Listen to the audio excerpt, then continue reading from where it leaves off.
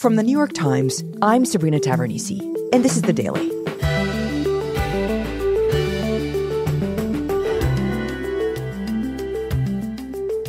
A Times investigation has found that doctors are increasingly performing unnecessary medical procedures that generate huge profits while often harming patients.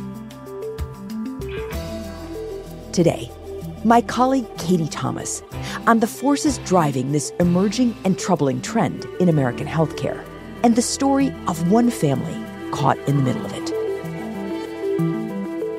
It's Monday, February 19th. So, Katie, tell me about this investigation. So, I am a healthcare reporter who writes about the kind of intersection of healthcare and money. And I was working with two other colleagues, Sarah Kliff and Jessica Silver Greenberg. And together, the three of us had long been interested in are the medical procedures and the tests and other things that we get when we go to the doctor or into a hospital, are they always necessary? But what we were really interested in exploring was not just are these procedures and are these tests, et cetera, are they necessary? But in some situations, could they actually be harmful to patients? Hmm. And so that's what we decided to, to try and take a look at. And so we had gotten started in our reporting when we got a tip, and it was from a mom in Boise, Idaho, and her name was Lauren Lavelle. Hi. Oh nice to meet you. Hi. Oh my God. How are you? And my colleague oh, Jessica Silver Greenberg and I went to her house to meet with her. And where does her story start? I am a mom of two. I live in Boise. My daughter June is four, and I have a 17 month old Flora. Her story um, starts when Lauren gets pregnant with her daughter June. So by the time we got pregnant with June, November of 2018, about eight months after we had the miscarriage, I think I was just more hesitant and nervous than anything. Lauren and her husband had had trouble conceiving. And so they were so happy when they learned that they were going to have June. And like most first time parents, they were also a little bit nervous. But being type A and super prepared, I did all my homework. We hired a doula. I wanted an epidural. Having an actual childbirth absolutely was not for me. And you know, Lauren is very organized. She's always on top of everything. And she makes all sorts of plans and she gets a lot of different providers lined up ahead of time. I didn't know anything about breastfeeding, like zero things. Including and one that she has hired to help her with breastfeeding. Where did you find out about her? So I asked our doula for a list of recommendations, and she gave me a very short list. At the time, there were very few lactation consultants in the Valley, and Melanie was one of them. She ended up deciding to work with Melanie Henstrom, who is a local lactation consultant in Boise. She sold this package at the time. I don't know if she still did, but it was like prenatal visit, breastfeeding class. And then she'll come to the hospital and help you latch, and then she'll come to the house a couple times after. And I thought, well, this sounds perfect. Great. You know, I'm covered there. So one week after her due date, she gives birth. And it was a difficult labor. It took 24 hours. Lauren was completely exhausted. But once June arrived, the family was very, very excited to have her. And I remember June coming out and that surreal feeling you have when you see your first baby for the first time. Like, oh my God, like there's a baby in the room. And June was a healthy baby, but she was having trouble breastfeeding. She would not latch. Like, she wouldn't even attempt. She would scream. It was the only time she ever cried would if you tried to make her breastfeed. And so, as her pediatrician was making the rounds, they noticed that June was having trouble and said that June's tongue is really tight. We can clip it if you'd like. And that they could clip it. What does that mean exactly, Katie, clipping her tongue? What it means is that there's a small percentage of babies whose tongue is very tightly tethered to the bottom of their mouth. And for a very small percentage of babies, their tongue is almost tied so tightly down that they can't nurse well. So it makes breastfeeding very difficult if a baby has a tongue like this. Exactly. If you bottle feed your baby, the baby can basically adjust and make do. But if you want to breastfeed, some babies have trouble basically latching on to their mother when they don't have that tongue motion. And so some version of clipping these tongue ties has been done for centuries. Midwives have been doing it, pediatricians do it. And traditionally, what it's been is a very quick snip right underneath the tongue just to loosen up the tongue. And traditionally, that procedure is extremely straightforward. There's little to no follow up care. And basically, the baby naturally heals as it learns to breastfeed. And so we said, okay, you know, they explained that it was completely painless. They do it with scissors. She wouldn't even feel it. And all of that was true. They clipped it. I don't even think she woke up. But um, in June's case, it didn't seem to help much. And she and Lauren were still having problems breastfeeding afterwards. So while she's still in the hospital, she calls up the lactation consultant that she had hired, Melanie Henstrom, just to let her know what was going on.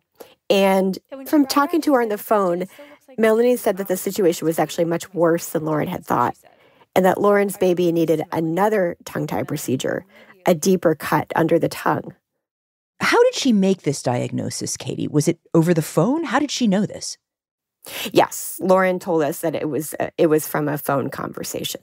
And in addition to that, she also warned her that basically, you know, Lauren and her husband should really take this seriously and consider getting it done because if she doesn't get it fixed, it could lead to a whole host of problems beyond just problems breastfeeding. She'll have scoliosis and she'll suffer from migraines and she'll never eat and she'll have a speech impediment. She won't sleep. I mean, just like the long list of things over the phone. And Lauren starts panicking. I mean, first of all, I felt I've never felt more terrible in my life than that first day or so after giving birth. Like the come down from the hormones, the drugs, all of it, the sleep deprivation. And then, you know, here was this baby we'd wanted, we were told we probably would never have after one miscarriage. And she's so perfect. Like the most beautiful baby I'd ever seen. And you think that she has some deformity that's going to ruin her. But Melanie says it's okay. You know, she has a solution and she tells Lauren that there's a dentist in town who can handle cases that are as severe as June's. A dentist? Why a dentist? Well, there's a procedure that's done in a dentist's office that's a laser surgery. And dentists use this high powered laser machine that can quickly cut the flesh that connects the lips and the cheeks to the gums. So, according to Lauren, Melanie tells her that by chance, this dentist has an opening because she said a family coming in from Oregon had just canceled their Saturday appointment. So I thought, oh, okay, wow, you know, people are coming in from Oregon to see him. So we talked about it. We both felt unsure, but we said, well, let's at least take the appointment and then we can at least meet with the dentist. And also, someone can look at our mouth and assess. And, and so oh, Lauren agrees to go in and, and meet the dentist. Like, I think some people, when they hear this story, think, like, like, why would you believe that? Like, it just sounds so scammy.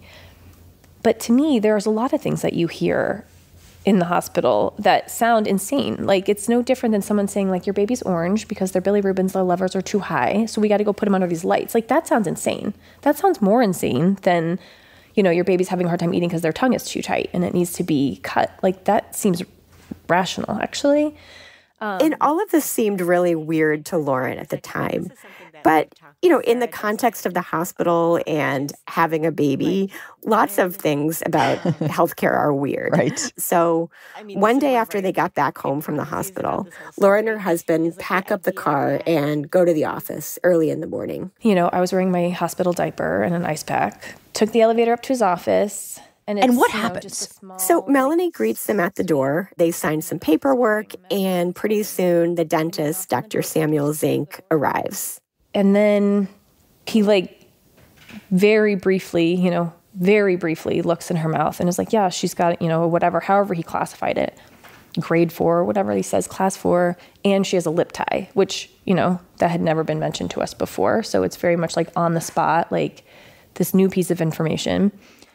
You know, so, pretty quickly, the dentist diagnosed June as having a couple of ties. He confirmed that she had a tongue tie, and he said it was severe. He also said that she had tightness under her top lip called a lip tie. And so the baby actually needed to get two cuts. And again, Lauren said that the dentist and the consultant told her how important it was for her to do this for her baby. One of us says, like, you know, what happens if we don't do the procedure? Like, what are our alternatives? And it was like basically like, there's no alternative. Like, you have to do this. Otherwise, like, again, long, long. long so Lauren and her husband decided to do it. But before the procedure starts, Melanie actually stopped Lauren from coming into the room. Melanie turned around and put a hand on my shoulder and said, Oh, no. And I said, Oh, am I not going with you? She goes, Well, we can't tell you no, but, you know, if you hear her cry, it'll impact your milk supply, like adversely. What do I know? So I said, Oh, okay. And she pulled out the white noise machine and said, What do you want to listen to? And I had no idea what she was talking about. I had no idea what it was. And so then she just turned it on, white noise, and left. What happens next is Melanie turns on a white noise machine in the room. And that was the moment that I was like, get your baby and get out of here. And I didn't listen to it. It was like all of my mom intuition firing, being like, this isn't right, you know? It's like, I don't know how to describe it, but like a full body, you have to get your baby and get out of here. And I just ignored it. She said her maternal instincts really kicked in, and she just had this instinctive fear about the procedure and whether June would be okay. But the procedure itself was very quick. Within just a couple of minutes, Melanie returns with June. And she was screaming, like screaming, and so worked up. This was like hysterical, inconsolable. And she was also choking on something, like gagging. And June was I, so, so, worked no, up. No, no. Lauren had only had her for a couple of days, but she said that this was on a different level than any other way she had ever seen June crying. And June just wouldn't stop crying. And she looked over to Melanie, and Lauren said that she remembered Melanie saying this was very typical. And so they pay the dentist, they pay $600 for the procedure, and then they go home. And what happens? Over the next several days, June did not get better, you know, as Melanie had assured them. You know, she was basically inconsolable, Lauren said, just crying hysterically. And Lauren and her husband, you know, they don't know how to comfort her. They're they're new parents. They've only had a baby a couple of days and you know, they're they're almost beside themselves. There was nothing we could do. And I remember finally I said like this is not normal. We're going to the emergency room. And they decided to go to the emergency room where a doctor looks inside June's mouth and finds a large sore in in her mouth that he says is probably causing her so much pain. And so he said, you know, it breaks my heart to see a sore that big in a baby this small. It was like the floodgates opened and like there was nothing but guilt and shame. Like unmanageable guilt and shame. Like what have we done? Who are these people? What have I done to my baby? Will she ever be the same? Like, what did I do? So at this point, Lauren is really understanding that her intuition about this surgery was probably right and that she and her husband may have really made a mistake with this. What does June's recovery look like? So, June never did end up breastfeeding successfully, which was the main reason why Lauren and her husband had decided to do this procedure. That was the whole point, right? That was the whole point, right? And over the next couple of years, June had a number of issues that, you know, there's no official medical diagnosis for, but Lauren has attributed a lot of her behaviors to what had happened to her when she was just a few days old. I mean, you couldn't close the fridge door too loud, or else it would like set her off. Or, you know, we would attempt to take her for a stroller walk on the green belt, which is the walking path, and she'd be asleep in her car seat, you know, stroller, and someone would try to pass us on their bike and like ring their bell, and it would startle her, and it would just like set her off. So she just was very, very, very fragile. So Lauren just wanted to get answers, and she really wanted to hold Melanie and the dentist accountable.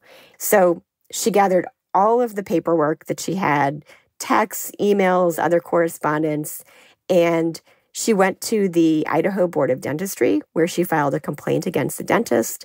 And then she also went to a professional organization that certifies lactation consultants and filed a complaint with them as well. And did she get anywhere with either of them? At first, no. The Idaho Dentistry Board didn't want to investigate, and Lauren appealed, and she lost her appeal. And she didn't initially hear back at all from the lactation board. No one wanted to take responsibility. That's the thing. No one wanted to stick their neck out there. What's the alternative? The story never gets told. And that's when she decided to reach out to us. And after our story came out, the lactation board finally told Lauren that they were investigating Melanie. And Katie, you guys were reporting the story. I'm assuming you reached out to both the dentist and to Melanie. What did they say? Beyond a very brief phone conversation that I had with Melanie, in which, you know, she defended her work and she said that she had a number of very satisfied customers. She didn't respond to detailed questions about Lauren's story or the stories of her former clients. And Dr. Zink did not respond to our request for comment. But he did tell the dentistry board that Lauren's baby's procedure was uneventful and that an extremely small percentage of patients do not respond well to the procedure. And how big of an issue is this, Katie? I mean, how common is it for mothers to have an experience like Lauren's? So, after we got the tip from Lauren and we dug deeper into her story, we found ourselves really surprised by how big this industry was for tongue tie releases. And in part, it's been driven by this movement for breastfeeding and the, the Breast is Best campaign, and a growing number of parents who are choosing to breastfeed their children. In turn, that has sparked this big boom in tongue tie releases. One study that we found showed that these procedures have grown 800% in, the, in recent years. Wow. Yeah. And also, as we started talking to other parents around the country, we learned that uh, some of them had similar stories to what Lauren had told us. There's plenty of instances where there's no harm done to the baby at all when they get these procedures. But we also found cases where babies were harmed, you know, where they developed oral aversions, which basically means that they don't want to eat because they fear having anything put in their mouth, including a bottle. We found cases where babies became malnourished, uh, had to be hospitalized. We found more than one instance in which babies had to be given a feeding tube just weeks after the procedure. So these sound so painful and awful for a newborn, these problems. But I guess, you know, there's always a risk, Katie, in any medical procedure, right? I mean, how much of this is just the risk you sign up for when you agree that your baby should have a surgery? Well, that's true. I mean, there's always a risk. But what you're supposed to do is weigh the risks against what the potential benefits of a procedure are. And when we really started drilling down into what those benefits were and into the medical research, we found there just wasn't a lot of potential benefit for these procedures, you know, if if at all in many cases. Really? So the procedures don't have a medical reason to exist? That's right. We reviewed all of the best quality medical research on this. And, you know, other than that old fashioned snip under the tongue, which does show that in some cases it can reduce pain for breastfeeding mothers. But otherwise, all of this growth and all of these other more invasive procedures, we found there just wasn't good evidence that they help babies. And the more we looked into tongue ties and started to connect it to the other reporting we were doing, we started to realize that it was driven by some really big forces in our healthcare system that really had the potential to harm patients.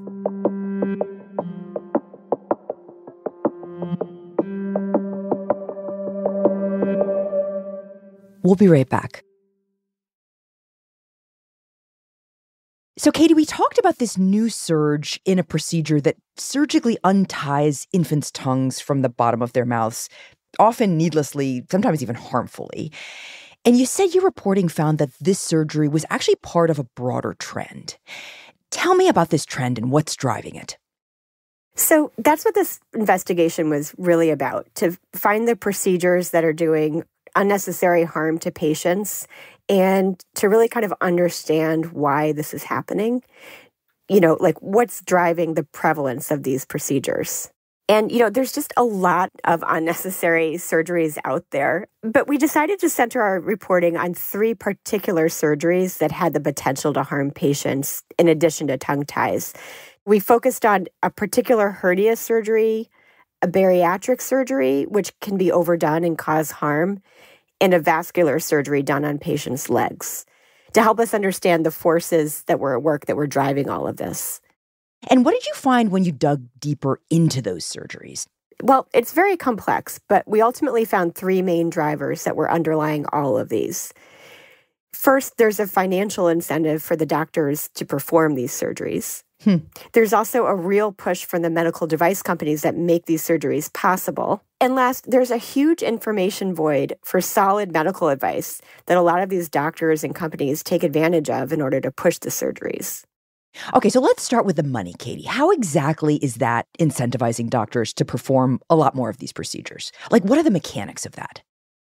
So, the reality of our healthcare industry today is that in many places, you know, even in places like nonprofit hospitals, the doctors who work there are not getting a salary. Hmm. A straight salary that's just kind of you get paid for showing up to work that day.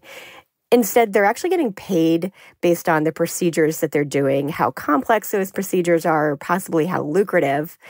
And it's not every doctor. There are still doctors that get paid salaries, but it's increasingly the case that doctors have at least a part of their pay is tied to the procedures that they're doing. Interesting. So the procedure is growing in importance in terms of actual compensation for doctors. Right. I mean, in part, it's kind of baked into the healthcare system that we've always had. You can even think about it as the small town doctor who operated his own independent practice or her own independent practice it's a, essentially a small business and, and they would get paid based on the patients that they saw. But like increasingly, even in, for example, large hospital systems where you might think that a doctor is is just getting paid a salary to work in a hospital. In fact, you know, a chunk of their bonus, for example, can sometimes be tied to the procedures that they're doing. And that is increasingly the case. Interesting. And so, one particularly egregious example of this was at a hospital that's in New York, Bellevue Hospital. And basically, what my colleagues found there was that they had basically turned their surgery department into an assembly line for bariatric surgery, which makes your stomach smaller and can lead to weight loss. But what we found was that they were green lighting patients that basically didn't meet the qualifications for this surgery, which is a serious surgery. And what they found was that there were several situations where people had very serious outcomes as a result of getting the bariatric surgery there. Okay, so this is an extreme case of a hospital turning to a particular surgery to drive profits. And it wasn't uncommon in your reporting, it sounds like. No, it wasn't the only example, but it was the most striking. And when we reached out to Bellevue, they defended their work and they said that their practices were helping patients who wouldn't otherwise get care. But you know, our reporting was pretty conclusive that the program was churning through a record number of surgeries. So, what else was driving this increase in harmful surgeries that you guys found? So, we found it wasn't just the hospitals who were benefiting. The other major player that benefits are these companies that are making the tools and the products that doctors are using during the procedures. And in order for them to sell more of their products, a lot of time what they end up doing is promoting the procedures themselves. So, like medical device makers, like the company that made the laser in June surgery. Right. And, you know, they do this in a number of ways. They're giving them loans to help them buy the equipment. And in some cases, they're even lending them money to help set up those clinics where the procedures are performed. So they're really underwriting these doctors so that they can perform more surgeries and ultimately sell more machines. Yes. And the other things that they do is, you know, the, the laser companies, for example, they will host webinars where they will have uh, dentists who who frequently perform these procedures show other dentists how to do the procedures. We even discovered this conference that was created by one of the laser companies and it had kind of a wild name. The name of the conference was Tongue Ties and Tequilas. Oh, God. right. It brought in dentists to talk about how to make money off the procedures, you know, how to promote themselves on social media, how to actually perform the procedure. And, you know, of course, when they were all done, they they got to celebrate with uh, an open tequila bar. Okay, so a lot of this really amounts to these companies trying to popularize these procedures, basically, like to get the word out, even if the procedures don't really work or in some cases cause harm. Right. But they also play a big role in the other factor that's driving a lot of this, which is the information that they put out there about the surgeries. These companies often sponsor research, which doctors often rely on to guide their practices. And, you know, part of what we found is that it can kind of create this echo chamber where doctors feel more comfortable and justified in doing these procedures when they have kind of this whole alternate universe that is telling them that it's okay to do these procedures and in fact it's beneficial to patients. Hmm. So tell me about this echo chamber effect.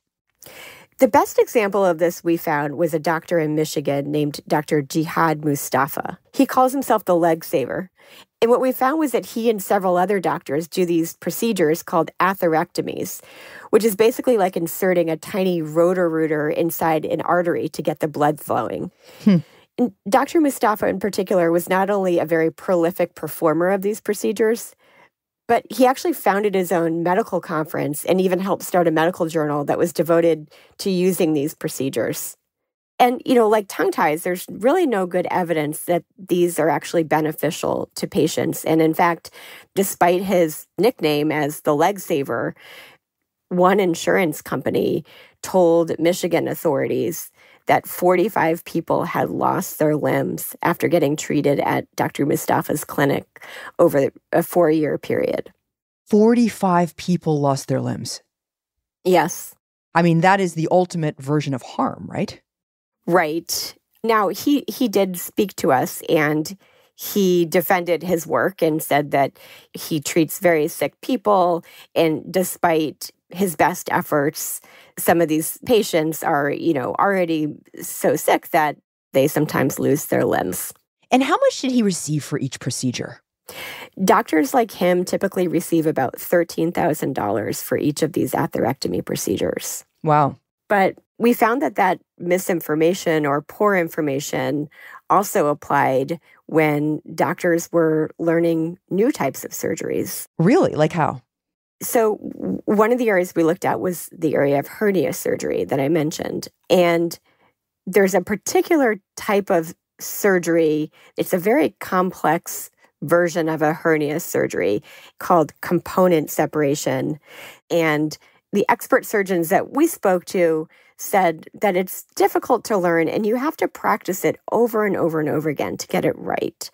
But one recent survey of hernia surgeons said that one out of the four surgeons had taught themselves how to perform that operation. Really? Yeah. Not by learning it from an experienced surgeon, but by watching videos on Facebook and YouTube.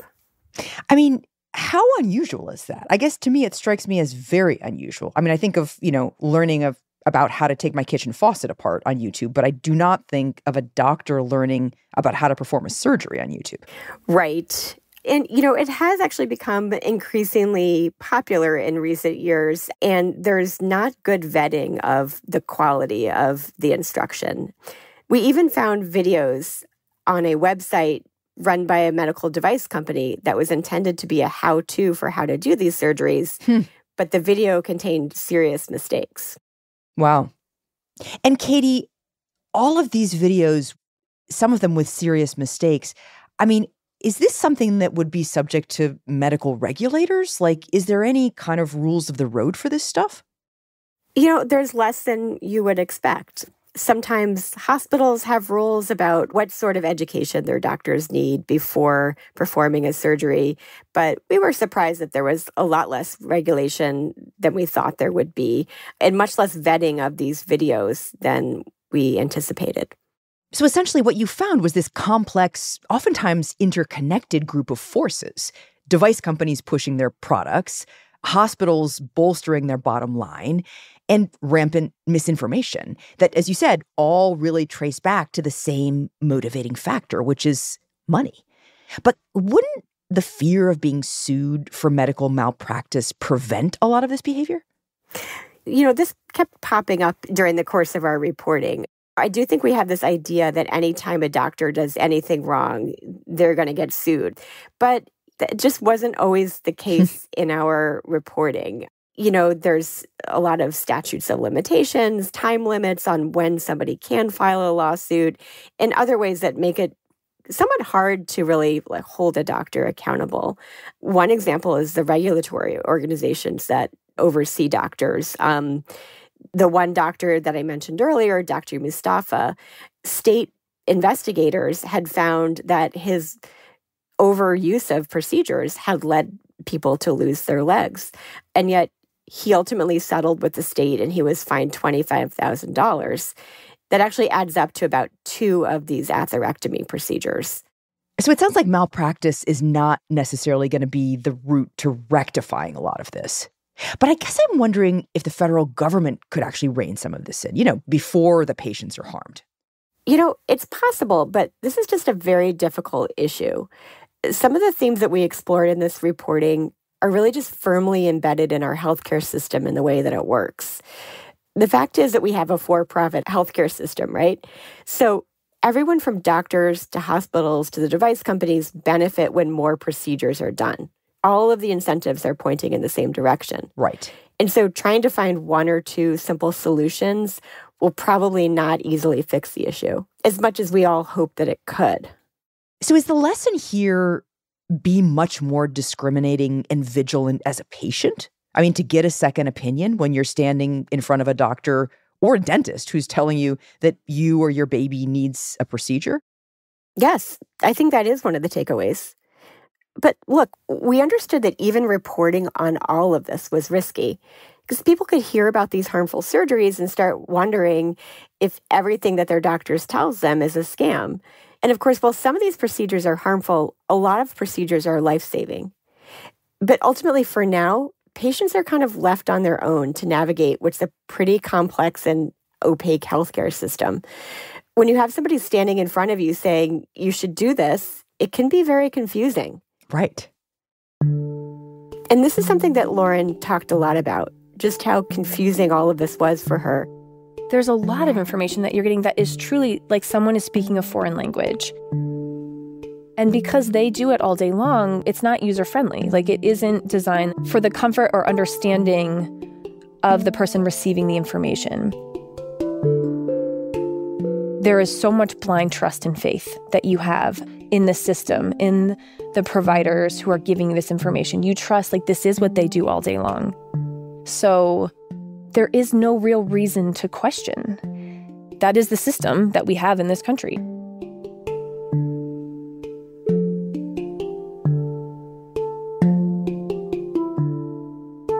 Katie, thank you. Thank you.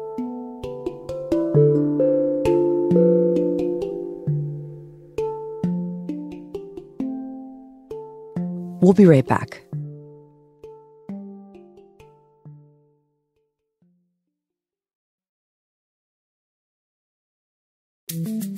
Here's what else you should know today. On Friday, the Russian authorities announced that opposition leader Alexei Navalny died in prison. He was 47. Navalny, a charismatic anti corruption activist, led the opposition to Vladimir Putin for more than a decade. His popularity was broad, extending far outside the realm of liberal Moscow. And that proved threatening to the Russian authorities, who attempted to poison him in 2020. Navalny survived and later extracted a confession from his would be assassin on tape. Navalny believed that Russia could be a free society, and he had the extraordinary ability, through sheer force of his personality, charisma, and confidence, to get others to believe it too. Though he had been in prison since 2021, his death still came as a shock. Стоит ли мне выйти сюда или сразу лететь к моим детям? Но потом я подумала, что бы сделал Алексей на моем месте. His wife Yulia Navalny made a surprise appearance at a security conference in Munich shortly after the Russian authorities announced her husband's death. И я уверена, что он бы был здесь. Он был бы на этой сцене. she received an emotional standing ovation. In Moscow, my colleague Valerie Hopkins spoke to Russians who were placing flowers in his honor. Оказывается, говорит, Навальный умер. Я говорю, да ты что? Да ты что, даже это поверить не могу. Да я тоже не могла верить. Здоровый человек, здоровый. And expressing disbelief that he was gone. And I asked them if they believe in the beautiful Russia of the future that Navalny talked about. And they said yes, but they don't we don't think we will survive to see it. At least 400 people have been detained since his death, including a priest who had been scheduled to hold a memorial service in St. Petersburg. Today's episode was produced by Asthaa Chaturvedi, Diana Nguyen, Will Reid, and Alex Stern, with help from Michael Simon Johnson. It was edited by Michael Benoist with help from Brendan Klinkenberg. Contains original music by Diane Wong and Dan Powell. And was engineered by Alyssa Moxley. Our theme music is by Jim Brunberg and Ben Landsverk of Wonderly.